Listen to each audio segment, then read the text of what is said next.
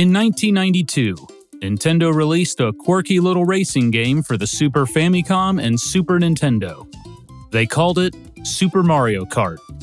The game began as a failed experiment, developed as a small side project within Nintendo's Entertainment Analysis and Development Group.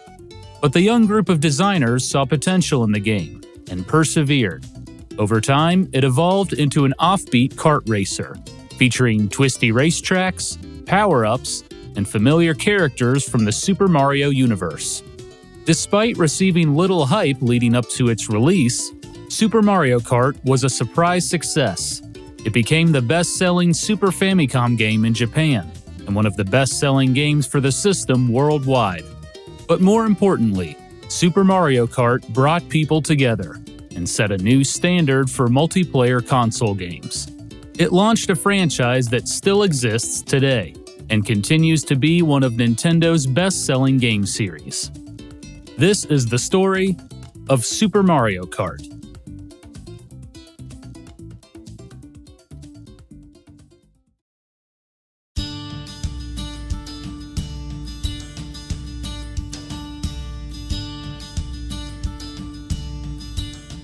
In the fall of 1990, Nintendo entered the next generation with their newest console, the Super Famicom. But they were late to the party. NEC's PC Engine had been on the market since 1987. Sega had joined the competition with the Mega Drive in 1988. However, Nintendo was confident their latest console would dominate the market. Hardware wise, it was much more powerful than its predecessor, the Famicom. But the true strength of the Super Famicom lay in the software. Nintendo knew that all the hardware power in the world meant nothing if the games weren't good. The Super Famicom launched with two games, and they struck a balance between showing off new technology and providing exciting gameplay. The first launch title was Super Mario World, a continuation of Nintendo's most popular franchise, Super Mario World was an evolution of the beloved series, with minor technical features to show off the new bells and whistles of the Super Famicom. Things like rotating platforms and transparency effects were cool, but didn't affect the gameplay that much. The second launch title, however, was an impressive technological feat F Zero F Zero was a fast paced, futuristic racing game where players zipped through huge, sprawling maps with long, narrow tracks. It was unlike anything ever seen on a console, and it was all thanks to a new graphics technology in the Super Famicom called Mode 7. Mode 7 was able to scale and rotate a background, altering the perspective for a pseudo 3D effect. It was impressive. Critics were blown away by F Zero. Famitsu magazine gave the game 37 points out of 40, three points higher than Super Mario World. One reviewer stated, The sense of speed found here is unlike any other racing game we've seen so far. It feels like this game clearly shows off the allure of the Super Famicom. But there was one major problem with F Zero it was a single player game. That bothered Nintendo's chief software producer, Shigeru Miyamoto. Miyamoto was the man behind some of Nintendo's most popular game series, including Super Mario Bros. and The Legend of Zelda. He was also heavily involved with developing the Super Famicom. He consulted on the system's design, the controllers, and even the packaging. Miyamoto insisted that the Super Famicom come with two controllers, he wanted to ensure developers would keep multiplayer in mind when they made games. But ironically, neither launch title utilized both controllers. F Zero was single player only, and while Super Mario World was a two player game, players couldn't play simultaneously. Miyamoto felt that development teams had only scratched the surface of the potential of the Super Famicom. So he devised a new project. Make a game like F Zero but for two players. He assigned the task to two talented staff members within Nintendo's Entertainment Analysis and Development Group, Tadashi Sugiyama and Hideki Konno. Both men had experience working with Miyamoto. Sugiyama joined Nintendo in 1983 and came up through the creative department with him. Sugiyama initially designed characters such as Popo and Nana from Ice Climber, and eventually became a game director. His first job was the highly anticipated second game in the Zelda series, Zelda 2 The Adventure of Link. Sugiyama also had experience with the Mode 7 technology in the Super Famicom, having just wrapped up director duties on Pilotwings, a flight simulation game. Working alongside Sugiyama was Hideki Konno. Konno joined Nintendo in 1986 and cut his teeth designing Ice Hockey, a fun arcade like sports game for the Famicom Disk System. But his most significant work was creating the overworld maps and levels for both Super Mario Bros. 3 and Super Mario World. Miyamoto oversaw both projects. Konno recalled he learned a lot about game development and creation by working under Miyamoto. Now, in the fall of 1990, Miyamoto entrusted Sugiyama and Konno to direct a new racing game for two players. As for himself, Miyamoto would serve as a producer, a self proclaimed, pretty relaxed role. He remembered, I don't know if I can really say I participated in this development. It was more like I observed it. Sugiyama and Konno also recruited additional staff, including programmers, to help with the project. Among them was Masato Kimura. Kimura had helped program F Zero, so it made sense for him to help with a potential sequel. He was named the director of programming. They also brought in Hajime Yajima. Yajima had previously worked on Pilot Wings, implementing a digital signal processing chip, or DSP chip, on the cartridge. The chip helped the game program run extra calculations behind the scenes. Sugiyama and Konno knew their two player racing game would need this chip to work. So Miyamoto walked over to Yajima's desk, tapped him on the shoulder, and said, Let's work together. With a team in place, Sugiyama, Konno, and the rest of the staff got to work. But by most accounts, the work was somewhat informal. There was no master design document, and Konno recalled not taking any notes during meetings. They were more like chat sessions. Everyone sat near each other in the office, so team members simply went up to each other's desks and talked. Many team members split their time with other, more extensive projects. Despite this, they were a dedicated group. Konno recalled that early development was mostly just sitting at one's own desk, grinding it out. Unfortunately, they quickly learned that making a two player F Zero game was next to impossible. F Zero's racetracks were massive, with long straightaways that gave a sense of speed. The tracks were displayed over an area of 100 screens, but due to hardware limitations, it was way too complex to do this for two players simultaneously, so sacrifices had to be made. With two players, the racetrack would have to be downsized from 100 screens to only 16. With such a small race course, they couldn't add those long straightaways, only twists and turns. Konno finally admitted, with more than one player, it would have been impossible to illustrate the high speeds of F Zero. F Zero's fast, futuristic vehicles would not work on such a small map, but maybe another type of vehicle could. So, as a last ditch effort to save the project, the team changed things up. That was our first idea, actually. A fun, light-hearted game where you zip around unrealistically in cars. It wouldn't be the life or death dangerous world of F1 racing, but more the atmosphere of screeching wheels as you zip around an amusement park. From those ideas, the concept eventually evolved naturally from cars to carts. Shigeru Miyamoto. Go karts were a perfect choice. They didn't go very fast, which suited the smaller, winding courses. And they were becoming more widespread in Japan thanks to the rising popularity of F1 racing. Japanese auto manufacturer Honda was heavily involved in the sport, providing engines for winning racers such as Ayrton Senna and Alain Prost. And many F1 racers started their careers by training in go karts. There were many F1 racing video games. Nintendo had even made a few themselves. But there were very few kart racing games. The idea had enormous potential. Co director Hideki Konno recalled it was lucky timing for us. But there was one big problem. No one on the staff had ever ridden a go kart. Co director Tadashi Sugiyama purchased a book on go kart racing and watched videos, hoping to get more acquainted.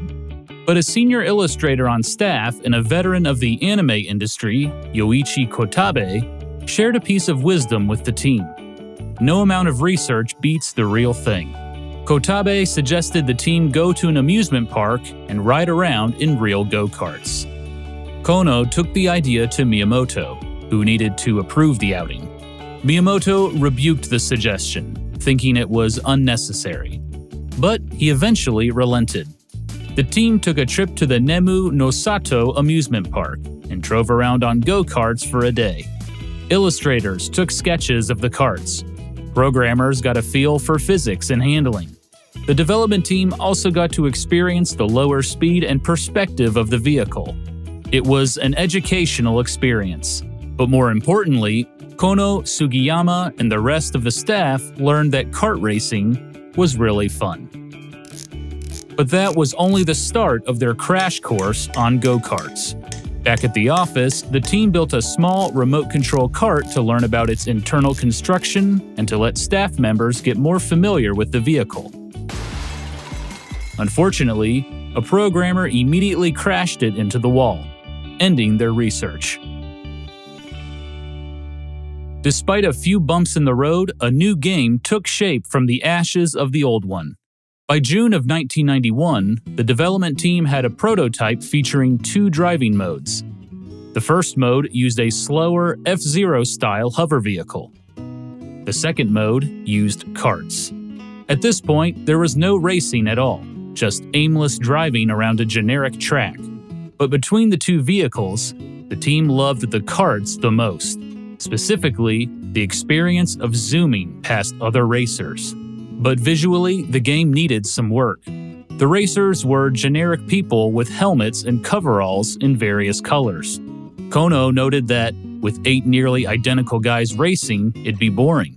So then we began to focus on design. They needed a better way to tell the racers apart. So the development team brainstormed possible characters that were easily recognizable from behind and one character immediately came to mind Mario.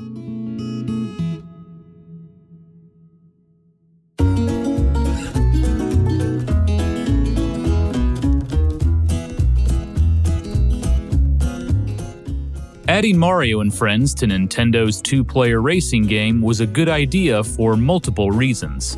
For one, the Super Mario series was easily Nintendo's most popular franchise, Super Mario World was the best selling game on the Super Famicom at the time. Including Mario in this new racing game was a guaranteed way to boost sales.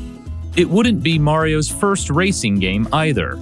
Nintendo threw the plumber in earlier titles, such as the Famicom Grand Prix series, mostly for marketing purposes. But more importantly, from a design standpoint, Adding Mario and his friends to this new two player racing game provided variety and recognizability. So, as an experiment, the team added Mario, Luigi, and Bowser as playable characters. It was a game changer. You'd be able to tell immediately whether it was Mario or Luigi by the color red and green. They looked good visually, and we were able to clearly differentiate their characteristics, so we thought it was a good choice. Hideki Konno. Konno made the decision. This was now a Mario game Super Mario Kart. The two directors split up responsibilities for the project. As a veteran of the Super Mario series, Konno oversaw the game's overall presentation. Tadashi Sugiyama was responsible for course design, backgrounds, and characters. With the Mario theme in place, Shigeru Miyamoto's vision for the game evolved. Super Mario Kart wasn't just a two player racing game anymore. It was about the thrill of competition, the fun of driving in go karts, and the joy of playing video games with friends. But before they could figure out the gameplay, the team had to fill out the roster of playable characters. Mario and Luigi were obvious choices. Princess Peach and her loyal servant, Toad, also made the cut. They also added the newest character of the Super Mario series, Yoshi. The cute dinosaur made his debut in Super Mario World, and quickly became one of Nintendo's most likable characters. He particularly appealed to women and children. Rounding out the roster were villains, including the Big Koopa himself, Bowser. It was the first time players could control Bowser in a Mario game.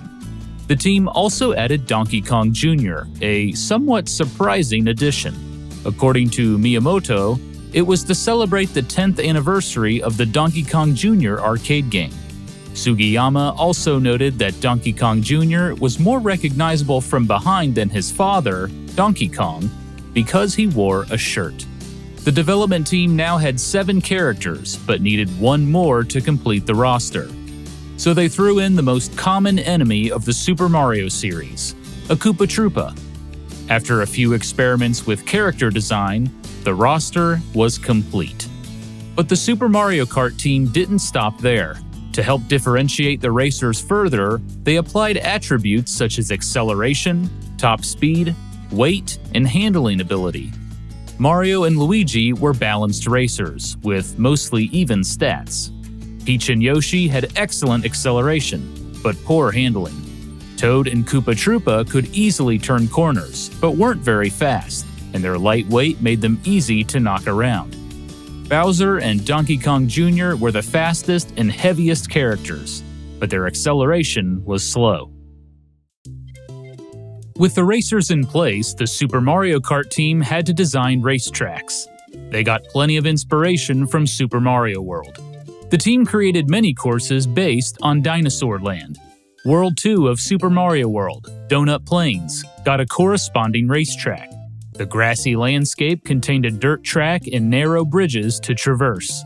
The ghost houses scattered throughout Dinosaur Land, known for their hidden exits, became Ghost Valley, a track made of wooden planks and filled with hidden shortcuts. World 6 of Super Mario World, Chocolate Island, also got a racetrack with plenty of dirt and mud to slow players down. And of course, there was Bowser's Castle, full of lava pits and dangerous jumps. Other tracks weren't necessarily based on Super Mario World levels, but fit perfectly into the Mario universe. For example, Koopa Beach had soft sands and shallow water that carts skimmed across. Vanilla Lake was a track filled with ice, snow, and chilly waters. And finally, there was the ultimate challenge Rainbow Road, a bright, colorful racetrack with no guardrails to keep racers on the course. At first, these courses were simple raceways with twists and turns, but the designers added enemies, characters, and objects from the Mario universe. Monty Moles popped out of the ground in Donut Plains. Ice blocks on Vanilla Lake made navigating the course even more difficult.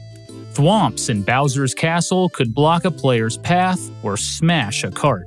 The designers also changed how carts drove on different terrain types. An asphalt track was a relatively smooth ride. Ice courses made driving a little more slippery. Stone blocks made the carts bounce up and down slightly. To help streamline the creative process, the Super Mario Kart team created a track editing software suite that allowed them to manipulate the courses directly on the game cartridge. Designers could place objects like speed zippers and jump bars on the racetrack, add walls or obstacles, and even configure the driving path for computer controlled players. It was a huge time saver. The new obstacles and terrains made the racing even more dynamic, and getting the kart controls right was more important than ever. Head programmer Masato Kimura spent most of his time tinkering with kart physics. He struggled to find a balance. The more realistic the controls got, the less it felt like a video game. Miyamoto got involved too, to the detriment of Kimura. Miyamoto constantly changed his opinion on how he thought the carts should control, which worried and annoyed Kimura. But luckily, Kimura remembered one of the game's core ideas to capture the fun of driving go karts. He said, I had to go back and tinker with the controls over and over until I approximated something that felt right. The team also added new elements to the driving experience. Racers could jump, something not typically found in a racing game. But Miyamoto insisted on it, claiming it was a feature that couldn't be missing from a Mario game. But one new technique would become a core element in the Mario Kart series drifting. Drifting was a driving technique made popular in Japan. It was thrilling, but somewhat tricky to perform. Cars drift by countersteering in the opposite direction of the turn. Initially, the Mario Kart team tried this idea, but most playtesters couldn't complete the move. The team wanted to ensure that any player could pull off the maneuver. So they simplified the concept. All players had to do was hold the L or R button and steer in the direction of the turn. Although Hideki Konno knew the compromise wasn't perfect, he thought the technique was really cool and fun to perform. He wanted to reward players who could pull it off, so the team made the carts go faster around turns during a drift. Driving the carts was a blast and easy to learn, but it rewarded players who could perform the more advanced techniques. There was also no speedometer in the game. The development team felt it would clutter the view. The sound of the go kart's engine would signify how fast a player was going. And naturally, everyone would want to drive a go kart as fast as possible. Still, at that point, Super Mario Kart was just a racing game set in the Mario universe. That is, until the team added a feature that would define the series items. Super Mario Kart was not the first racing game to use items. For example, RC Pro Am on the Nintendo Entertainment System had various weapons and power ups scattered along the tracks. Missiles could take out other racers. Turbos gave the player a speed boost, and the tire power up increased the player's turning ability. But Super Mario Kart took items in racing to another level. The idea was there right from the beginning. Before the development team added Mario to the game, co director Hideki Konno felt the racing was lacking. It wasn't exhilarating just driving around a track at slow speeds. So, as an experiment, the designers added oil cans that players could throw onto the asphalt and create oil spills, which caused the carts to spin out. It added a new thrill to the race. But with the game now set in the Mario universe, potential items were endless. The development team experimented with a few ideas that didn't make the cut, including a placeable piranha plant. In the end, they settled on eight items that players could use in the Grand Prix races. Green shells, fired straight ahead or could be placed behind the player as an obstacle. Red shells acted like a homing missile, targeting the nearest racer ahead of the player. Banana peels, which replaced the earlier oil cans, spun out racers. Mushrooms gave players a speed boost. A feather, based on the item from Super Mario World, gave racers a super jump, which allowed them to take shortcuts on certain tracks. The star power up increased the player's speed and made them temporarily invincible, allowing them to spin out other racers and blow through obstacles on the track. There were also coins, an idea from Miyamoto. After all, what was a Mario game without coins? Coins served multiple purposes and added a layer of depth to the race. Collecting coins increased the max speed of the cart, but they also served as a currency. If the player got hit with an item or spun out by another racer, they lost coins. And if a player fell off the track, Lakitu took a few coins away. And finally, there was the lightning bolt, arguably the most powerful item in the game. It shrunk all the other racers on the track, slowing them down and making them vulnerable to being run over. Playtesters loved how the lightning bolt created sudden upsets. The Super Mario Kart team tested items incessantly to refine the balance. And thanks to the track editing software, designers could place item question blocks on courses to quickly test them. However, they ran into a problem. The playtesters found that items sometimes led to chaotic and unfair racing. For example, players in first could get powerful items like lightning bolts or stars, giving them an extraordinary advantage. But co director Tadashi Sugiyama had a simple solution. The chances of getting certain items depended on the player's position, lap, and race course. If a player was in last, they had a much better chance of getting powerful items, but if they were in first, they would likely get less useful items. It worked perfectly. Thanks to the item balancing, there was no guarantee a skilled player could come out on top. It allowed for even more thrilling upsets and tighter races. DSP chip programmer Hajime Yajima implemented the change, but he couldn't get it working perfectly. The Super Famicom wasn't powerful enough to calculate item odds for both human and computer controlled players. To compromise, the design team scrapped the idea of computer controlled players acquiring items. Instead, they got unique weapons based on their personality. Mario and Luigi essentially got a star power up, making them invincible temporarily and dangerous to racers who got too close. Toad and Princess Peach threw poisonous mushrooms, which shrunk racers. Yoshi, Bowser, Koopa Troopa, and Donkey Kong Jr. launched projectiles that could spin out racers, including an egg, a fireball, a green shell, and a banana. While items added a new dimension to the racing, some development team members worried that hardcore racing fans would scoff at the idea. It introduced too much randomness to the races. So, as a compromise, the designers added an option to disable items. But Miyamoto thought the option would remove tension from the experience. He said, I think that indeterminacy, knowing that something might happen, is the most fun. Co director Tadashi Sugiyama agreed. Mario Kart is not Mario Kart without the items. The opportunities that come from using the items means that both skilled and unskilled players can play the game together. A key characteristic of Mario Kart is how it's often the case that you can't win just with your driving skills alone, with the races being very close as everyone does everything they can to get over the finish line first. Tadashi Sugiyama. In the end, the team removed the no item option from the game.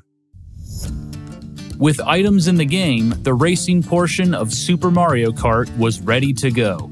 The game featured a Grand Prix mode, where players competed against computer controlled opponents and each other to win a trophy. There was also a match race featuring one on one racing. And finally, there was a time trial mode, a must have feature for a racing game. But as Miyamoto envisioned, Super Mario Kart really was more than just a racing game. And there was one more gameplay mode that would set the game apart from other racing titles a battle mode. As development began, the Super Mario Kart team knew they wanted a game mode that had nothing to do with racing, so they tried several experiments. But ultimately, the one that stood out was a game where players hurled a ball at each other. They collected points if they scored a hit, but the game needed some work. There were very few walls or obstacles on the course. This allowed players to drive around freely, and it made the playtesters dizzy. Not only that, but the Super Mario Kart team was running out of memory on the cartridge. As they added more and more features to the racing modes, they had less and less space to work with. So the team shelved the battle mode. But as the racing modes neared completion, the team decided to revisit the idea. To fix the dizziness problem, they added more walls and obstacles to the courses. They also replaced the generic ball attack with items. The designers also added a new item exclusive to the battle mode and match races the Ghost power up, which turned a player invisible and stole the opposing player's item. To keep track of hits, each player had three balloons. If they got hit, they lost a balloon. For Miyamoto, the battle mode was another defining feature of the game. The very fact that battle mode had nothing to do with racing is what made us want to add it and give it special attention. It helped strengthen the image of the game. It is not you become a world class racer, but rather you get to race around and play in this go kart with your friends. Shigeru Miyamoto. With racing, time trials, and now a battle mode, Super Mario Kart was almost ready for prime time but it wouldn't be complete without music.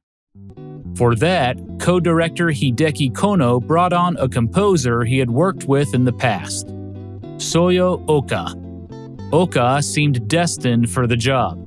She had been at Nintendo since 1987 and had composed music for earlier Famicom racing titles, including Famicom Grand Prix 2, 3D Hot Rally, and Versus Excitebike. She had also previously worked with Hideki Konno on ice hockey. Her music had a distinct sound. Oka's work was known internally at Nintendo as Soyoism. Oka enjoyed the challenge of composing music under the restrictions of the Famicom where music still had to sound good if a track disappeared due to hardware limitations. She called it a sound puzzle. But with the Super Famicom, those restrictions were gone. It allowed her more freedom in her compositions. She called the new system Beyond Wonderful. Oka's first works on the Super Famicom were Pilotwings and SimCity. Both game soundtracks had a mellow, relaxed sound.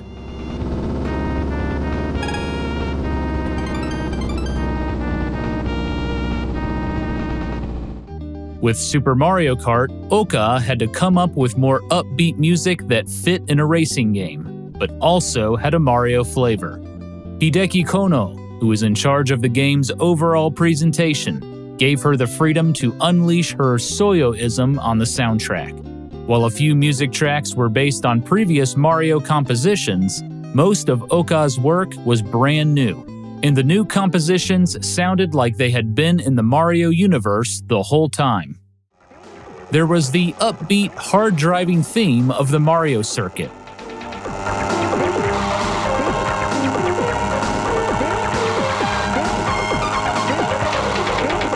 The relaxing, coastal vibes of Koopa Beach.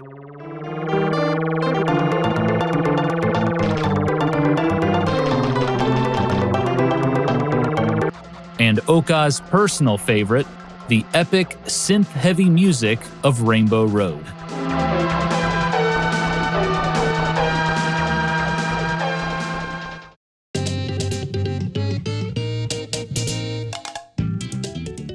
What began as a failed experiment to make a two player F Zero game was now a unique, fun go karting adventure. Super Mario Kart expanded the idea of what a racing game could be. Power up items allowed for thrilling, upset victories. Distinct racetracks made navigating the courses an integral part of the gameplay. And the new battle mode made games with friends even more intense. For co director Hideki Konno, the thrill of competition made Super Mario Kart a memorable game. I really played the game a lot during the adjustment and debug phases of the development. Because of the strong competitive gameplay, once I started test playing, I would get excited and start shouting out while I played. I just couldn't help it, because of the randomness and potential for making huge comebacks. I may have been a bit distracting for other development teams working on other projects. Hideki Konno. By the summer of 1992, Nintendo was ready to reveal Super Mario Kart to the world. But surprisingly, despite being a Mario game, Super Mario Kart did not generate much hype leading up to its release. Early previews in video game magazines were short, lost in a sea of other games. Many of the write ups compared the game heavily to F Zero. Nintendo tagged Super Mario Kart for an August 27, 1992 release in Japan. Leading up to the launch date, co director Tadashi Sugiyama remembered feeling unsure about the game's success. He said, I knew it was fun, but I didn't imagine users would actually like it that much. Sugiyama was in for a huge surprise.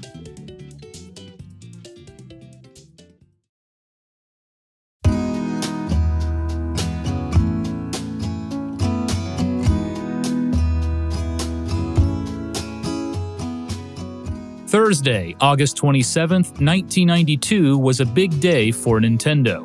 Super Mario Kart was on store shelves, and Nintendo was hosting their annual Famicom Space World exhibit at the 4th Shoshinkai Trade Show in Tokyo.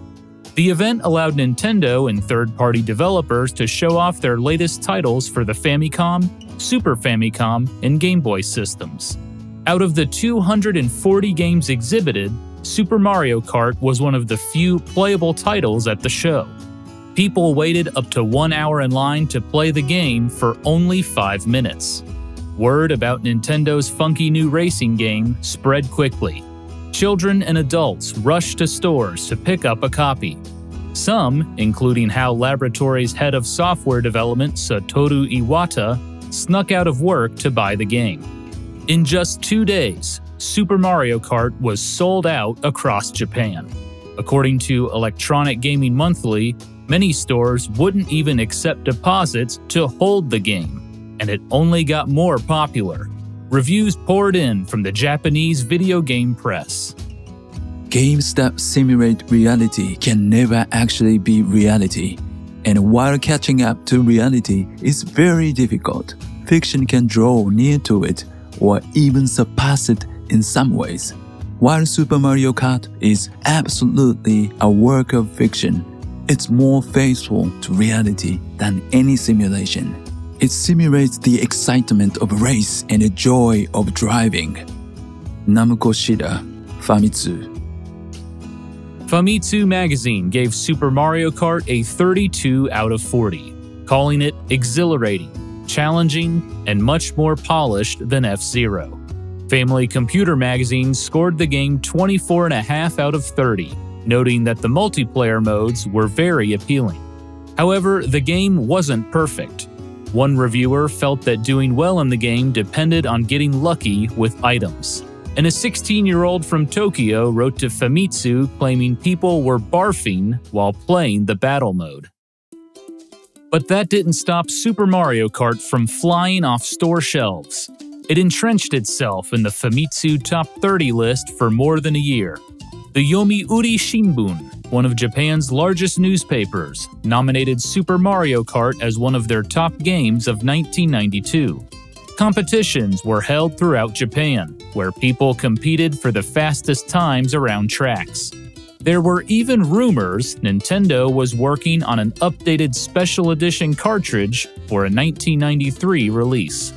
Super Mario Kart made its way into other mediums as well.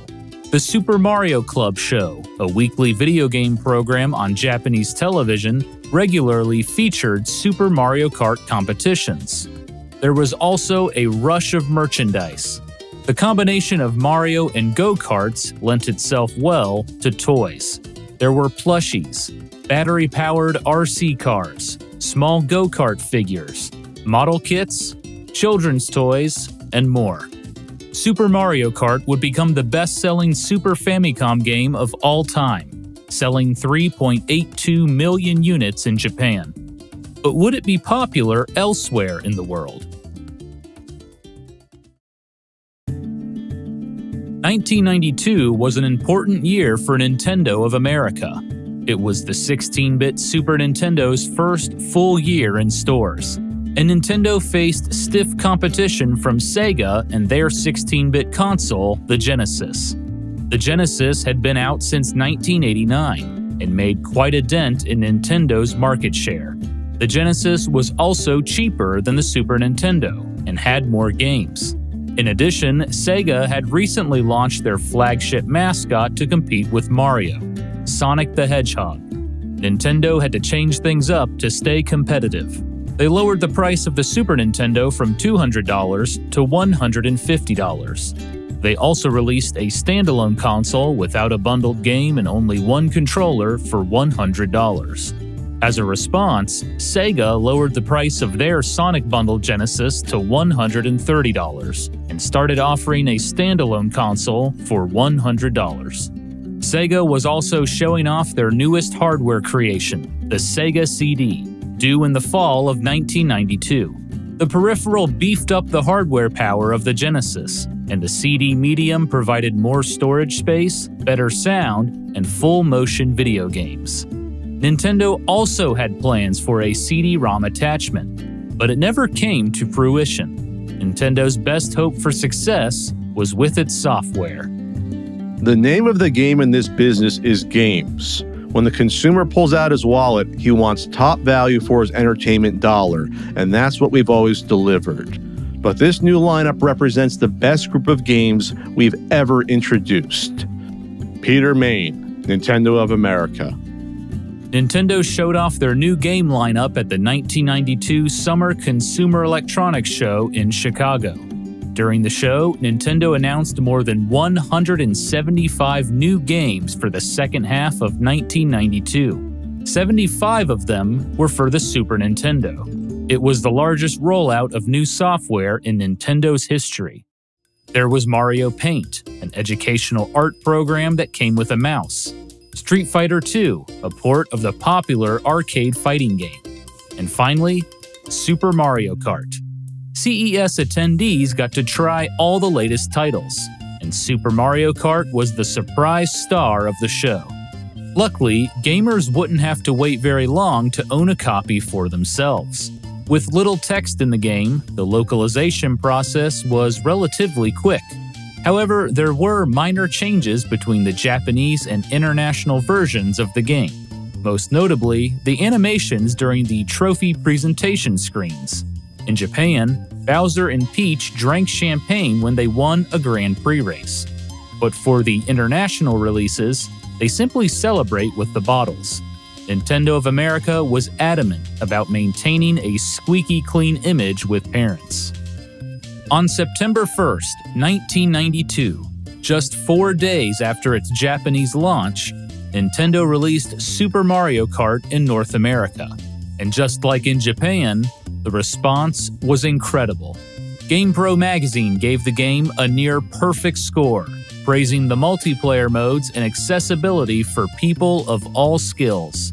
Electronic Gaming Monthly gave the game its Editor's Choice Award and called Super Mario Kart the best driving game to come along for some time. Nintendo backed up Super Mario Kart with a fourth quarter $30 million advertising campaign. You and make him eat dust. Or go into battle mode and ruin his day. Two speeds. Fast and way too fast. It's two-player fun on the split screen. Only for the Super Nintendo Entertainment System. Now you're playing with power. Superpower. Super Mario Kart graced the cover of the October 1992 issue of Nintendo Power, which contained tips and tricks, maps, and strategies for various courses. Nintendo also teamed up with Domino's Pizza, which had a Super Mario Kart scratch and win game with $25 million in prizes. In December of 1992, Super Mario Kart crossed the Atlantic and hit store shelves in the UK. British video game magazine Control scored the game an 86 out of 100, calling it the best racing game on the Super Nintendo. The following year, Super Mario Kart reached the rest of Europe. German magazine Video Games had high praise, calling Super Mario Kart the best racing game of all time. Not bad for a small side project at Nintendo. Super Mario Kart was a surprise hit Nintendo sold more than 1 million copies globally in less than a year. It was so popular that Nintendo bundled the game with the Super Nintendo in several regions, further increasing sales. By the end of the console's lifetime, Super Mario Kart had sold more than 8.5 million units worldwide, making it the fourth best selling Super Nintendo game of all time. But while Super Mario Kart sold incredibly well, it impacted the living room even more. Whether it be the natural competitiveness of racing or the friendly aesthetics of the Mario universe, Super Mario Kart brought people together like no other game before it. So innocently, Super Mario Kart crept into the house. It looked at first about as interesting as Tripe, but I soon discovered that this game crossed barriers, both in gameplay and generations. And what's even sweeter, the kids didn't always win. My teenage years as a hoon on wheels were finally beginning to pay off. I knew how to drive like a fool. They didn't. Mark Cam, the Sydney Morning Herald. Friends teamed up to unlock all the races in Grand Prix mode. Siblings duked it out in battle mode or raced each other one on one. Parents competed with their kids for the fastest time around the courses. So it was no surprise that Super Mario Kart won a Parents' Choice Award in 1992, given to, quote, entertaining products that introduce skills, reinforce them, and glamorize courage and common sense. Other game developers took notice of the popularity of Super Mario Kart, and soon a flood of clones hit the market on both PC and consoles, hoping to cash in on the kart racing craze. Sega put out Sonic Drift on their handheld Game Gear system. Atari released Atari Karts for the ill fated Jaguar console. There were also clones on the Super Nintendo, such as Street Racer, a part racing, part fighting game. But nothing came close to the success of Super Mario Kart. The game stayed on the Nintendo Power charts for an astonishing 68 months until the magazine stopped tracking Super Nintendo games. It was the beginning of a popular new franchise for Nintendo. Their next console, the Nintendo 64, would feature the first follow up to the original game, Mario Kart 64. And soon, Mario Kart games would come out for every new Nintendo console and handheld. And today, its popularity is bigger than ever. The best selling game on the Nintendo Switch is Mario Kart 8 Deluxe. Many of the staff members who were involved with the original game still work at Nintendo. Shigeru Miyamoto is still Nintendo's chief software producer. He is widely considered the greatest video game designer of all time. Hideki Konno remained involved in every future Mario Kart game. Today, he is in charge of Nintendo's mobile game division. Tadashi Sugiyama would go on to work on several Mario Kart games, including Mario Kart 64 and Mario Kart Double Dash for the GameCube. Sugiyama also directed F Zero X, released in 1998, and thanks to the power of the Nintendo 64, he was finally able to implement multiplayer in the fast paced racing game. Today, Sugiyama is still with Nintendo, working as a designer. Programmer Masato Kimura, who worked tirelessly to perfect the kart controls, continued to program various Nintendo games, including The Legend of Zelda The Wind Waker and Super Mario Galaxy. Most recently, he worked on the latest Mario Kart game, Mario Kart 8. Hajime Yajima, who implemented the DSP chip into Super Mario Kart, continued to put his technical knowledge to use. He provided assistance with new, graphically intense games, like Star Fox and Super Mario 64. Today, he is still working within the technology department at Nintendo. But not everyone stayed. Composer Soyo Oka left the company in 1995 to become a freelancer, working in radio, television, and video games. But Super Mario Kart stayed with her, even today, people come up to Oka and talk about the game. She said, I am truly moved to think that I have inspired children and young people more than I had ever imagined. At these times, I again come to understand how much of an amazing hit the game was and how many people played it. In total, the Mario Kart franchise has sold more than 150 million copies worldwide making it one of Nintendo's best selling series. And it all started with Super Mario Kart. A game that began as a failed experiment became one of the most influential games of all time. In 2019, the Strong Museum in Rochester, New York acknowledged the game's impact by inducting it into the World Video Game Hall of Fame. Super Mario Kart's unique combination of familiar characters and exhilarating social gameplay produced a powerful franchise that invited friends, family, and gaming fans of all ages to the Mushroom Kingdom for an unforgettable ride. The Strong Museum.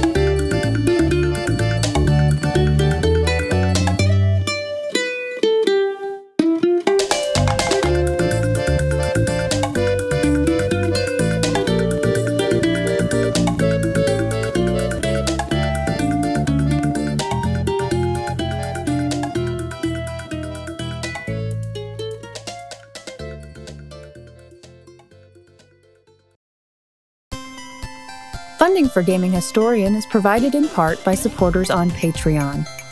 Thank you.